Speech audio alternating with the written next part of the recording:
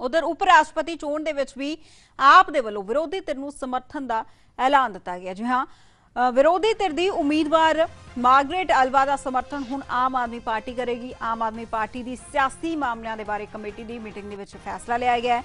NDA ਦੇ ਵੱਲੋਂ ਜਗਦੀਪ ਧਨਖੜ ਨੂੰ ਹਾਲਾਂਕਿ ਉਮੀਦਵਾਰ ਬਣਾਇਆ ਗਿਆ ਹੈ।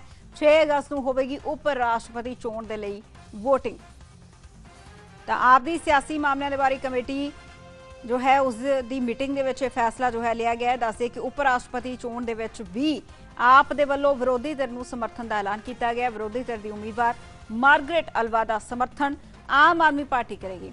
ਤਾਂ ਆਮ ਆਦਮੀ ਪਾਰਟੀ ਦੀ ਸਿਆਸੀ ਮਾਮਲਿਆਂ ਦੇ ਬਾਰੇ ਕਮੇਟੀ ਦੀ ਮੀਟਿੰਗ 'ਚ ਇਹ ਫੈਸਲਾ ਲਿਆ ਗਿਆ। ਐਨਡੀਏ ਦੇ ਵੱਲੋਂ ਜਗਦੀਪ ਧਨਖੜ ਨੂੰ ਹਾਲਾਂਕਿ ਉਮੀਦਵਾਰ ਬਣਾਇਆ ਗਿਆ ਤਾਂ 6 ਅਗਸਤ ਨੂੰ ਉਪ ਰਾਸ਼ਟਰਪਤੀ ਚੋਣ ਦੇ ਲਈ VOTING ਹੋਏਗੀ। ਤਾਂ ਇਹ ਦੇਖਣਾ ਅਹਿਮ ਰਹੇਗਾ ਕਿ ਜ਼ਿੰਮੇਵਾਰੀ ਕਿਸ ਦੇ ਹਿੱਸੇ ਆਏਗੀ। पार्टी के राष्ट्रीय संयोजक और दिल्ली के माननीय मुख्यमंत्री श्री अरविंद केजरीवाल जी की अध्यक्षता में पॉलिटिकल अफेयर्स कमेटी की मीटिंग हुई और जिसमें विस्तार से उपराष्ट्रपति के चुनाव में आम आदमी पार्टी किसको समर्थन करेगी, इस विषय के ऊपर चर्चा हुई।